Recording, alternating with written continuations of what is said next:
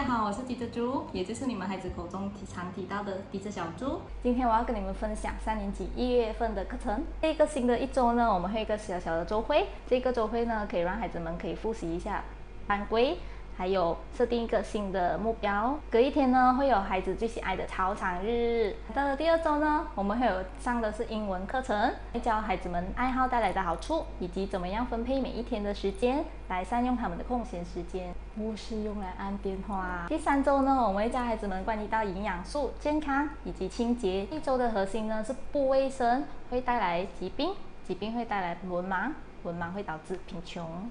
记得要洗手哦，不然长大后会很穷。在这一个星期，我们也会教到科学的营养素，还有国语的扎拉姆玛萨。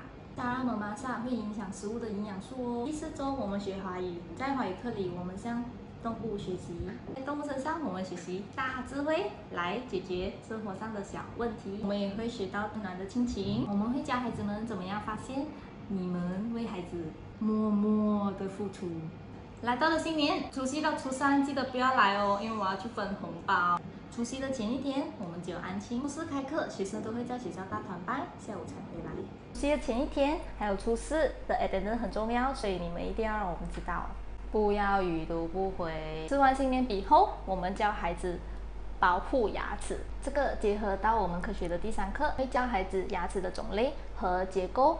以及如何保护它，一个美丽的笑容，从一副健康的牙齿开始。给你们录的第一支影片终于完成喽，拜拜！在新的一年里，祝我们合作愉快，还有年年发大财！记得按赞哦。财神到，噔噔噔噔。